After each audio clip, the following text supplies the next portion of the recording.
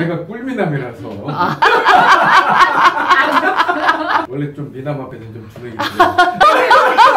집에 가고 싶어.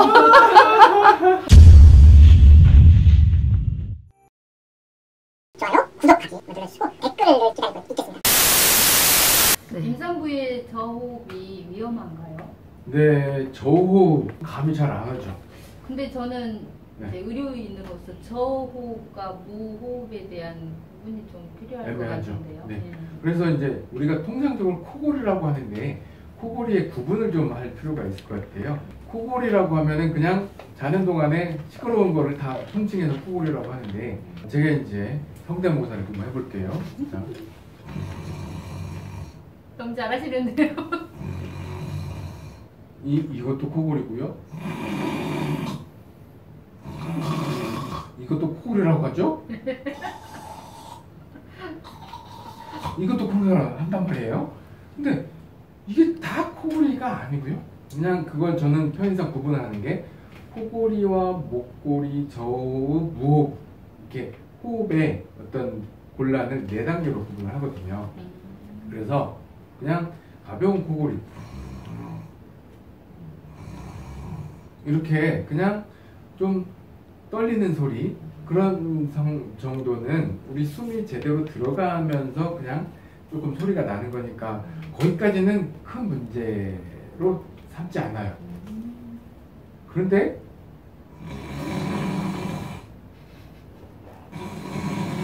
하기 시작하면 우리 남편이 옆에 있는 것 같아요. 이거는 기부가 많이 좁아진 상태고 코 이 뒤쪽이 아니고 목에서 나는 소리.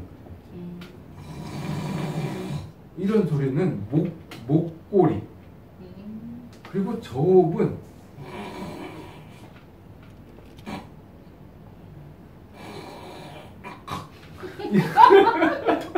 이것처럼 숨이 자꾸 끊기는 거예요. 음. 그리고 무호흡은 숨을 10초 이상 안 쉬고 있다가 이거는 이제 무호흡. 그러니까 그 무호흡과 저호흡은 어, 거기인 것 같지만 굉장히 차이가 있죠. 거기 계시는 목- 의료인 심각하게 들으세요. 코골이, 목골이, 저호흡, 무호흡은 이처럼 그냥 우리가 통칭해서 코골이라고 하지만 그 안에 들어가서 보면 상당히 이 호흡의 곤란 정도가 좀 다르다는 거죠. 그래서 우리가 그냥 봐줄 수 있는 코골이는 가볍게 자 숨은 제대로 쉬는데 가벼운 소리가 나면 아이고 그래 네가 깊게 자는가 보다 예전부터 하는 코 골면서 자면 잘 잔다고 했던 게 그 정도 수준이라는 거예요. 그 이상 넘어가면 아 이거 심각한 호흡 곤란이구나라고 이제 인식을 하고 해결 방법을 빨리 찾아야 되는 거예요. 네. 그래서 이 저호흡 상태는 의학적으로 구분하자면 정상적인 호흡보다 50% 이하로 떨어질 때를 얘기해요. 무호흡은 완전히 숨이 막힌 상태고 숨을 50% 이하로 떨어뜨리면 내 몸 안에 그 산소가 50% 이하로 떨어진다는 거잖아요. 네. 쉽게 그냥 단순 계산을 해본다면 얼마나 심각해요. 그럼으로써 이제 몸이 어떻게 반응을 하냐.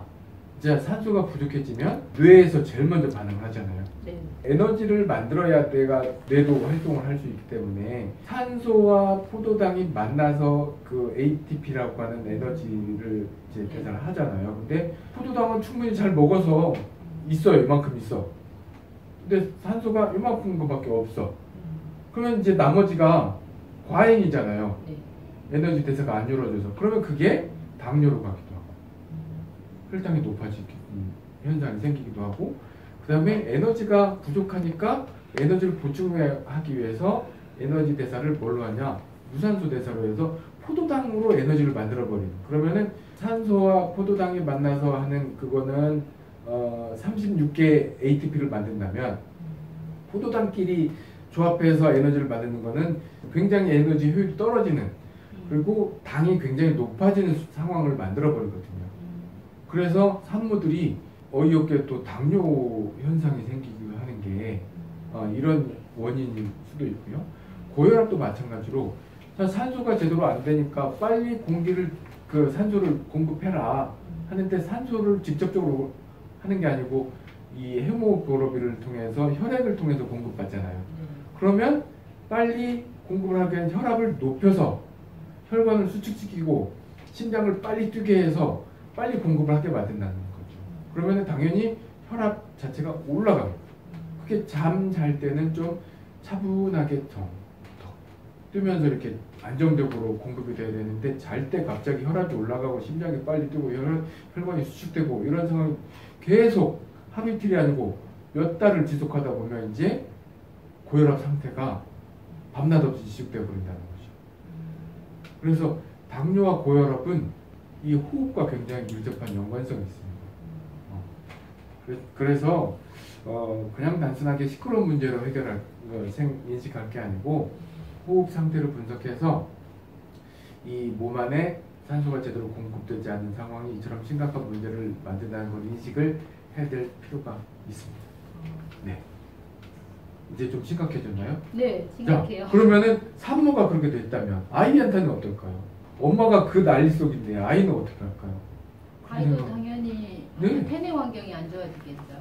아이는 엄마보다 훨씬 더 지금 세포 분열이 왕성할 때고 에너지를 많이 써야 될 때이기 때문에 아이한테는 너무너무 가혹한 환경이죠. 그래요. 놀랐어요. 네. 그러면 코골이 종류가 여러 가지가 있고 네. 어, 저호흡은 산소 부족을 처리하기 때문에 네. 고혈압이나 네. 어, 당뇨 같은 이런 것을 유발할 수도 있고 네. 태아에게는 그 태내 환경이 그렇게 좋지 못하겠네요. 네. 오늘 이렇게 힘이 없으세요? 굉장히 심각한 얘기예요. 어. 네, 심각하죠. 네. 음. 사실 진짜 이 코골이와 호흡은 연관성이 있을 거라고는 생각했지만 음. 이게 이제 고혈압과 당뇨가 이제 발생하는 기전 음. 이제 이런 것까지는 영- 사실 생각을 못했거든요. 근데- 제게는 새로운 이론입니다. 그렇죠. 근데 생각해 보면 왜 일반 코골이 환자들 같은 경우에는 뇌 산소 부족 현상이 굉- 굉장히 밤마다 생기는 거잖아요. 뇌에 산소 공급이 잘 안 되는 거예요. 그리고 뇌 청소를 잘 못해 밤마다. 그러면서 제일 문제가 이제 돌연사나 뭐 이런 것도 문제지만 치매가 또 굉장히 문제가 되는 거거든요. 코골이가 무호흡 환자분들이 오시는 공통적인 의견은 내가 이러다 죽을 것 같아 곧 이거거든요. 근데 곧 죽으면 또 모르겠는데 이게 제일 문제는 기억력 감퇴부터 시작해서 치매까지 이게 간단 말이에요. 뇌 산소 부족으로 인해서.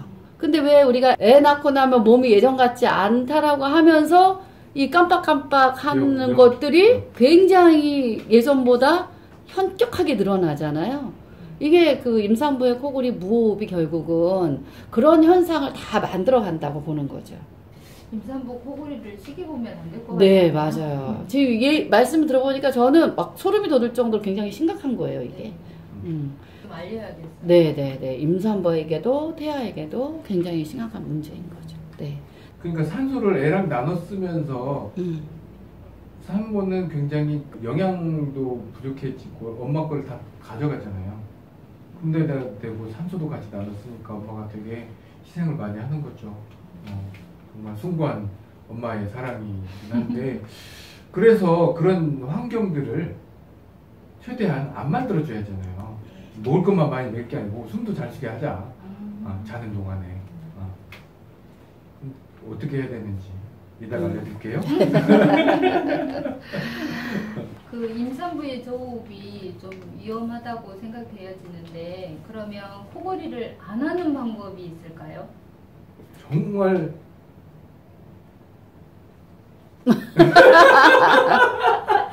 코골이가 발생하는 원인을 이제 생각해 보면 안 하는 방법을 찾을 수 있겠죠. 아, 코골이는 언제 발생할까요? 잘 때, 숨 쉴 때. 그러면은 안 자고 안 숨을 안 쉬면은 코골이를 안 할 수 있는데 목숨을 걸 만한 일은 아니잖아요. 그래서 이 숨을 잘 쉬면 됩니다. 숨을 잘 쉬어야 되는데 숨을 잘 못 쉬는 원인들이 있더라고요. 네네. 자, 첫 번째가 코막힘이에요. 많은 산모들이 우리나라 많은 사람들이 피 증상을 갖고 있더라고요. 음, 그래서 숨 쉬는 게 시원찮아요. 어. 환경 때문에도 그렇고 여러 가지 뭐 정말 많은 문제들 때문에 코로 숨 쉬는 게 정상적이지 않은데 그런 분들의 경우에는 코골이가 아무래도 더 발생할 비율이 높죠. 자, 코로 숨을 못 쉬는 사람들이 많은데요. 네. 콧구멍이 원래부터 작은 사람들은 좀, 좀 그런 사람들도 있고 의외로 코뼈가 휜 사람들도 많고요.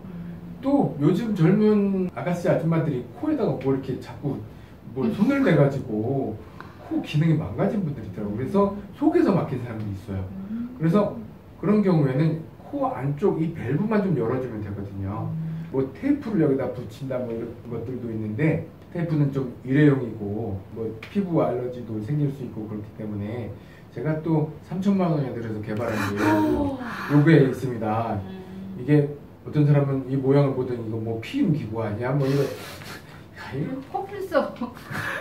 아, 라고 하는 분도 있었는데 저는 난소 모양을 생각했는데. 저는 그래서 제가 그걸 해본 적이 없어서 그건 이해를 못했고 여긴 자궁, 양쪽은 아, 난소 나팔관. 어. 자 그런데 이걸 어떻게 하냐 코에다 씁니다 코에다 이렇게 걸고 안에다가 쑥 집어넣으면 이 안- 안에서 여기를 싹 들어주거든요 그러면서 코가 한번 해볼래요? 해봐도 돼요? 네 그게 방법이 있어요 코가 좀 작으신 편이군요 이게 과연 코 속으로 들어갈까? 라고 생각하는 사람들도 있는데 코 안에는요 수술해서 하는 사람들 얘기 들어보면 어, 솜이 한 주먹씩 나옵니다 숨이 엄청 커졌어요. 숨이 막쑥 들어가죠 이거 하나 살것 같아요. 이거 하나 열어줬을 뿐인데 제가 비염을 한 15년 정도 알았거든요. 숨이 막쑥 들어가고 어떤 분은 가슴이 다 시원하다고요. 그렇죠. 정말 단순하게 이렇게 좋아지는 사람들도 있습니다. 그 숨이 제대로 많이 들어가면 코골이는 당연히 줄어들어요. 그냥 단순한 코골이 정도에는 이 정도만 해도 어, 효과를 보실 수 있습니다. 정신이 맑아지는 것 같아요. 산소가 많이 들어가니까. 저 이때 칭찬 한번 해줘야 되는데. 좀 안 이상해요. 아니. 아니 본인은 그럴 때 어떻게 이렇게 좋은 걸 개발하셨어요? 아니 이렇게 어떻게 좋은 걸 개발하셨어요? 이게 필요는 발명의 어머니라고 하는 말이 있듯이요. 뭐 주변에 코 막힌 사람이 많아서 그런 뭐 테이프의 원리도 이제 보고 코를 늘려준다는 외국 제품들도 있고 뭐 파이프를 여기다 꼽는 사람도 있고 뭐 하는 걸 보면서 이런 여러저런 문제점들을 개선해서 어, 이렇게 쉽고 간편하게 쓸 수 있는 안 빼고 싶은데요. 하고 계세요. 하셔도 됩니다. 음. 아, 개발을 했죠. 음. 네. 지금 제가 해보니까 어, 호흡이 엄청 커지고요. 음. 갑자기 정신이 확 맑아지는 느낌을 제가 봤거든요. 네. 어, 너무 좋은 제품을 발견해 주셔서 감사합니다. 발견은 아니고요. 제가 아니요? 개발한 거거든요. 그러면 평소 네. 그 이 심한 임산부에게도 좋은 제품이 있다면서요? 네, 이거도 저희 발명품 중에 제일 신기한 제품이에요, 사실. 이렇게 조그만 게, 에게, 이게 뭐야? 라고 생각할 수 있는데요. 이거는 이미 뭐 수만 명 이 뭐야, 음. 이제 10만 명이 넘었을 수도 있는데요. 많은 분들이, 야, 요, 요거로 나의 수십 년 묵은 이 고쳐졌다. 언제 또 이 도질지 모르니까 항상 잘 보관하고 있다 할 정도로 요건데요. 이거는 뭐 원리를 한번 설명해 드릴게요. 한의원에 가면 침을 놓잖아요. 비염이 있다고 하면 침을 네. 놓고 뭐코 안에다가 막 침을 넣어서 피를 빼고 이런 많은 일들을 하는데요. 결국 이게 기혈 순환이 안 돼서 생기는 문제잖아요. 근데 저는 무엇을 발견했냐면 이 소료혈이라는 걸 발견했어요. 소료혈. 힐 소자에 엉덩이 료자를 쓰는. 그러니까 이, 이, 이 여기 있는 뼈가 엉덩이처럼 이게 두 개로 갈라져 있어요. 그래서 이제 료, 료 엉덩이 료자를 쓰는 거고 힐 소자는 이제 왜 썼는지 모르지만 폐를 얘기할 때는 흰색이라고 하잖아요. 네. 어, 상황을 얘기할 때 그래서 폐, 그러니까 호흡과 굉장히 밀접한 혈자인 거예요. 근데 이거를 참 침을 놓으면 어마어마하게 아픈 상이거든요. 근데 여기다 뜸을 뜨겠어요? 뭐 여기 할 방법이 있어. 이 한방적으로나 이 의학적으로 어떻게 할 수 있는 방법이 없었어요. 좋은 혈자리인데. 그래서 저는 이거를 연구를 해도 이게 안 나오다가 갑자기 전방에서 공격을 못할 것 같으면 후방에서 공격 안 되잖아요. 그래서 옥 형상 기억 와이어 이걸 해가지고 이렇게 해서 소리를 후방에서 딱 공격을 하게 만들었어요. 음. 그랬더니 이게 이 혈자리를 아주 가볍게 살짝 저 대, 조여주는 정도가 아니고 그냥 대주는 거예요. 음. 대주기만 해도 이 옥의 기능과 어떤 자극, 작은 미세한 자극에 의해서 코의 기혈순환이 살아나기 시작하는 신기한 효과가 있습니다. 그래서 콧물, 콧물이 툭툭툭 툭툭 떨어지는 사람 있잖아요. 네. 이걸 하고 어떤 분은 1분 만에 콧물이 멎었어요. 어떤 분은 코가 꽉 막혔는데 어, 어, 어 하더니 코가 열렸어요. 음. 재채기를 그렇게 심하게 하던 분이 재채기가 안 나오는데요? 라고 할 정도로 굉장히 정말 놀라울 정도의 그런 피드백을 많이 들었어요. 아. 그래서 저는 이게 정말 신기한데 이거를 뭐 막 팔거나 그러진 않아요. 어, 이거를 음, 하고 싶은 분은 오셔야 돼요. 음. 피어싱 개념으로 네. 돼도 될것 같네요. 자, 한번 느낌을 한번 보실래요? 자, 이걸 빼야겠네요. 네, 그냥 쑥 빼면 됩니다. 음. 이거 다 핸드메이드 손으로 만들어요. 음. 자, 이 형상 기억을 이렇게 늘려도 아무 그냥 문제가 없어요. 자, 이렇게 해서 짠, 짠. 어, 이건 아무 느낌이 없어요. 처음에는 했는지 안 했는지도 모르고. 네, 했는지 안 했는지 느낌이 없어요. 어. 아까 이, 이 이거 이, 네, 이거는 음. 즉각적으로 호흡을 네, 확 늘려주지만 빠졌는데 이거는 이제 코를 서서히 살려주는 거예요. 그래서 코 살림 요법이라고도 해요. 어, 코를 이용한 코 살림 요법. 이건 제가 또 만든 거네요. 이거는 방법이 요법이 정말 간단해요. 주구장창 껴라. 음. 이게 껴라. 가벼워서 제가 음. 했는지 안 했는지 네. 어, 잘 모르겠고 자. 불편함이 없어요. 여기 딱 거울이 또 이렇게 케이스에 달려 있어요. 피어싱. 피어싱 네. 참 예쁘네요. 네. 코에 문제로 생기는 코골이들이 생각보다 많아요. 그래서 이렇게 도움을 줄 수 있고요. 아, 네. 아, 그 코의 문제로 인해서 코골이를 하는 이 임산부들에게는 이런 작은 어, 간단한 도구로도 큰 네. 도움을 받을 수 있겠네요. 네. 이게 필요할지, 뭐 다른 게 필요할지, 그거는 모르잖아요. 네, 네. 코곤다가 무조건 이렇게 쓰는 건 아니거든요. 그래서 반드시 소리를 녹음을 해봐야 돼요. 어, 녹음을 해서 자 나는 이게 맞을 것 같다 하는 정도는 어느 정도 코골이냐면요 이렇게 가벼운 코골이는 이게 괜찮은데 이렇게 되면 이거 아닙니다 이거는 그냥 보조적으로 들어가는 거고 음. 요거는 다른 방법이 필요해요 어, 그러면 심각한 코골이를 그 앓고 있는 임산부들에게는 네. 어떤 방법이 필요하나요? 네. 자, 좀 전에 가벼운 코골이. 이 정도면 그냥 간단한 기구도 도움이 되겠지만